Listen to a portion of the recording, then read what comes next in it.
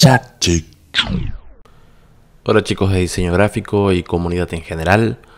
Eh, hoy les he subido mm, una banda de flyers que ustedes pueden utilizar ya sea para imprimir o para hacer historias para redes sociales. Eh, porque bueno, tengo ganas de compartir y no cuesta nada, ¿no?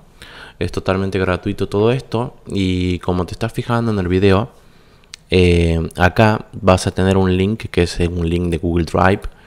Lo, vas, lo único que tienes que hacer es copiar y pegar Bien, yo ya lo tengo copiado, así que lo voy a pegar, voy a presionar intro y me va a derivar a la parte de, de la descarga, ¿no? Entonces yo hago clic en descargar y bueno, voy a tener que seleccionar una cuenta, si es que tenés múltiples cuentas como yo, o no va, no va a aparecer esa parte y directamente vas acá. Te dice que Google no puede escanear este archivo por, por, el tema de los virus porque es un archivo muy grande. Eh, la verdad que no quiero infectarte la máquina con nada, no me interesa. Así que bájalo con seguridad. Le presionas donde dice descargar de todos modos o download anyways. Y ves, se va a descargar. Yo acá lo voy a parar porque ya lo tengo descargado. Y lo tengo acá, fíjate. Eh, entonces, eh, necesitas WinRAR para descomprimirlo. Botón derecho, extraer aquí. Bien, pero repito, necesitas tener instalado WinRAR o con suerte lo puedas descomprimir con Windows, con suerte. Así que bájate el WinRAR, te lleva dos minutos y creo que si has llegado hasta acá sabes cómo descargar un programa. Y si no, bueno, yo voy a tratar de subirlo en un futuro próximo. No me comprometo mucho porque estoy a full siempre. Eh, bien, la cuestión es que cuando le des extraer aquí vas a poner la contraseña el profe 2019, como estás viendo ahí en pantalla que también está en la descripción del video y le das a aceptar. Bueno, acá yo ya lo había descomprimido y fíjate que se está descomprimiendo sin ningún tipo de problema. Y ahora vamos a los flyers. ¿Qué vamos a encontrar dentro de esta maravillosa carpeta?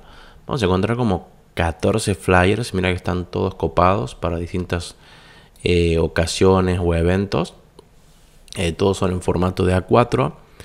Eh, yo puedo ver las vistas previas porque si viste un video que ya subí yo al canal, enseño cómo poder ver las vistas previas de eh, archivos PSD y otros más en Windows. Pero bueno, fíjate, son bastante copados. Y lo único que tendrías que hacer vos, este, básicamente es tener Photoshop instalado, obviamente, y lo vas a abrir al que vos quieras. Por ejemplo, no sé, yo voy a abrir este que hizo la Sol. Ya sé que me estás viendo Sol. Em, y cada tanto voy a ir renovando estos, voy a ir poniendo más que encuentre que estén dentro de todo interesantes o que estén buenos. Em, y bueno, fíjate que están acá adentro, le das OK. A mí se me abrió Photoshop. Eh, y bueno, lo único que tenés que hacer es ir seleccionando, por ejemplo, acá. Y si quiero reemplazar la imagen, botón derecho. Fíjate que es un objeto inteligente, ¿no? Botón derecho y voy a hacer clic a donde dice reemplazar contenido. Eh, puede pasarte de que en algunos el objeto, eh, la imagen no sea un objeto inteligente. Pónale, eh, yo lo voy a convertir en, una capa normal, así ves. Bueno, en ese caso vos los convertís en un objeto inteligente, convertir en un objeto inteligente y lo vas a poder reemplazar. ¿Ves donde dice reemplazar contenido? Si fuiste mi alumno, esto ya lo sabes hacer básicamente de memoria. Y no sé, vamos a poner buscar alguna imagencilla, qué sé yo, no sé, esto. Y bueno, le haces doble clic y ves que ya se puso sola. No, no hay más que decirte. Después, por ejemplo, si te interesa cambiar solo los textos, apreta acá en la T para ver las capas de textos. Y bueno, apretar la letra T para usar la herramienta texto o hacer clic acá. Bueno, acá lo que tienes que cambiar, ¿ves? Vas cambiando y, listo, no, no hay mucho más que explicarte. Y si quiero cambiar los colores, bueno, eh, te da este error, por ejemplo, porque estamos usando filtro para las capas. Le sacamos, volviendo a toda la normalidad. Y acá lo mismo, acá por ejemplo son formas algunos. Tenés que hacer doble clic y de ahí le cambias y, listo.